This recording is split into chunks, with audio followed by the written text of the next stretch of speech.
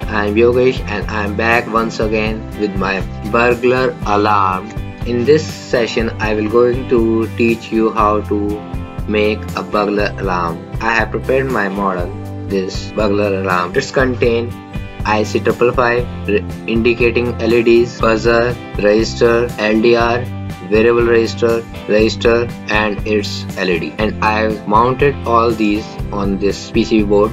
I have a source supply with a 9 volt battery once again HIW battery so before going to show you the test model मैं आपको ये दिखाना चाहता हूँ कि मेरा पास जो सर्किट है वो क्या है तो I hope it's clear yeah it's clear so now you can see that it's uh, IC triple five on which of one I have connected with uh, its negative and to the terminal 8 I have connected positive look at here it's uh, LED buzzer register variable register of 100 kilo LDR again it's register and LED this one is our indicating LED and it's a laser light we can use instead of this setup. You can take out this setup from this uh, circuit. It's no problem. And here our IC triple five 9 volt supply. You can see that uh, if while uh, connecting the LED you can you have to put in the mind that the longer length of the